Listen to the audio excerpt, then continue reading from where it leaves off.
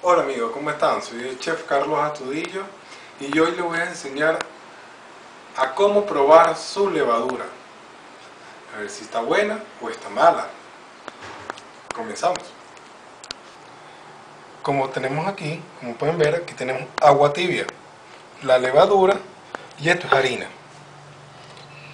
Entonces para probar su levadura vamos a colocar la levadura en el agua tibia. Y un poquitico de esto esto es harina de trigo todo uso. Ok. La colocamos.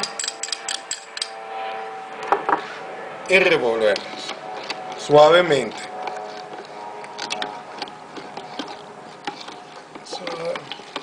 Hasta que ella se disuelva completamente la levadura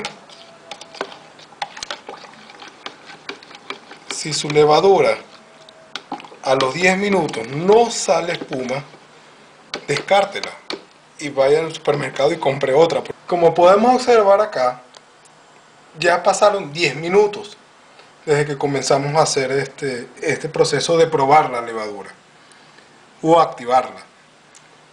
Miren toda la, la espuma que formó esta, eh, esta levadura. Esto quiere decir que esta levadura está muy buena. Esto debido a que absorbió los nutrientes de la harina y eso formó gas carbónico.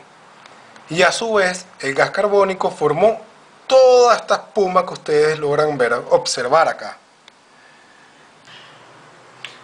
Esto quiere decir que ya podemos comenzar a hacer nuestros exquisitos panes podemos hacer un pan de jamón, una pizza, un panetón.